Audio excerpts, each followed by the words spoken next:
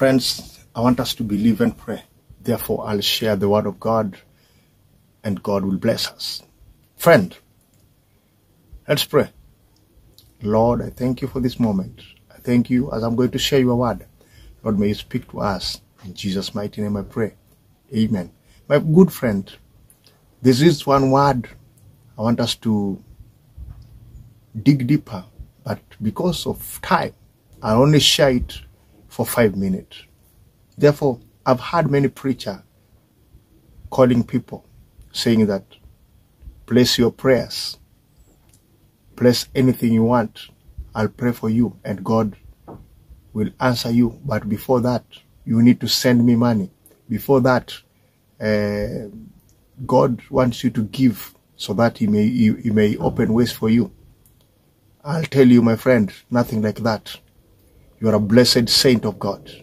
When God blessed Abraham, he knew his destiny and he even showed him by the stars up there. Praise the name of Jesus. Therefore, my friend, as you continue in your life, know that nobody will steal your star. People are lying to you that your star can be stolen by anybody.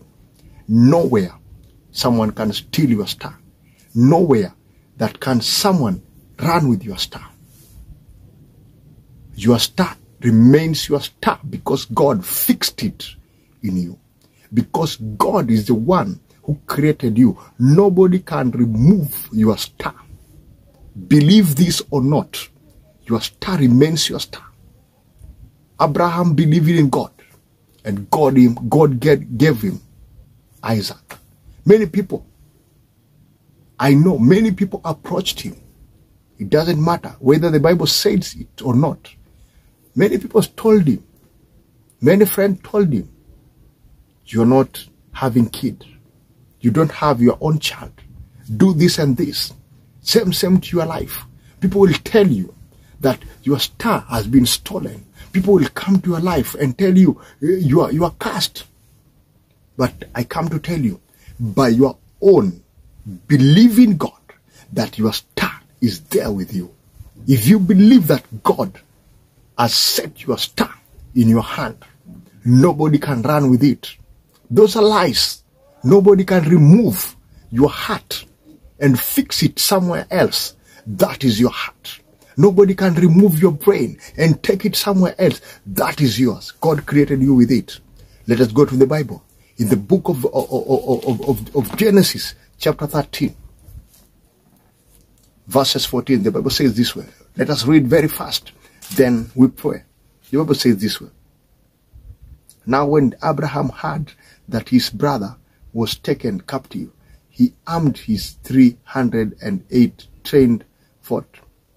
Uh, sorry, um, uh, uh, verses, uh, verses 14, sorry. I was reading uh, chapter 14. Uh, that is chapter 13, verses 14. Listen. And the Lord said to Abraham, after Lot had separated from him, lift your eyes now and look from the place where you are northwards, southwards, eastward, and westward. For all the land which you see, I give to you and your descendant forever. Nothing God can give to you and it can be removed by someone else. I assure you that. God gave you brain. Nobody will remove it from you. God gave you knowledge. Nobody can remove it from you and give it to someone else. That is lies. People come and, and lie to you that your knowledge can be transferred to someone else. Nowhere. Only God who can do that. No man can do that. Listen very carefully. Verse 16 says this way. And I will make your descendant as the dust of the earth. So that if a man could number the dust of the earth, then your descendant also could be numbered. Arise, walk in the land through its length and its width, for I give it to you.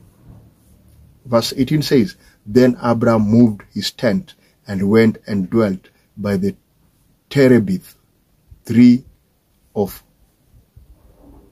three of of Mamre, Mamres, which are in Hebron, and built an altar there to the Lord.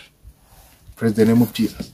If you build an altar to your life, if you build an altar to the way you walk with God, everything will work in your way.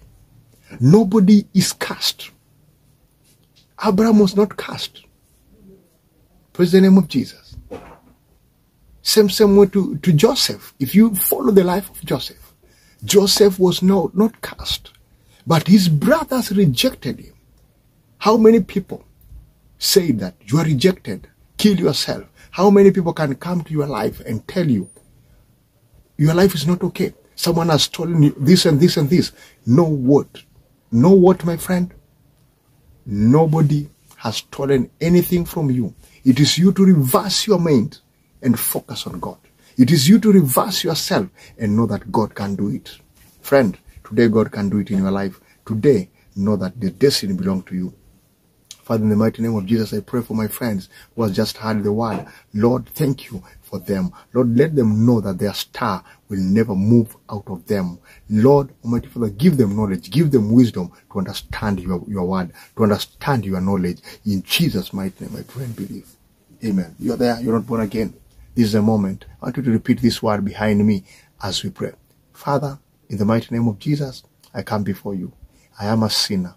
I've sinned against you. Jehovah, forgive me. Jehovah, write my name in the book of life. Lord, I thank you starting from today. I'll follow you. In Jesus' name I pray. Amen. You're forgiven. My friend, know that God will walk with you. Know that your star is with you. Know that everything God has set in you, it is yours. In Jesus' mighty name. Therefore, you can subscribe my channel there, BBSN channel, and also you can like my Facebook, Carl Brand, face, uh, Facebook, Carl Brand, Instagram, Carl Brand, Twitter, Carl Brand, and also my contact number is plus two five four. That's the code number of Kenya. Therefore, uh, seven two zero. 826159 that's my number and god will bless you and also like like like like subscribe subscribe and god will richly bless you in anything you do god is there in anything you do your star will rise with you in jesus mighty name i pray. Walk with jesus. Thank you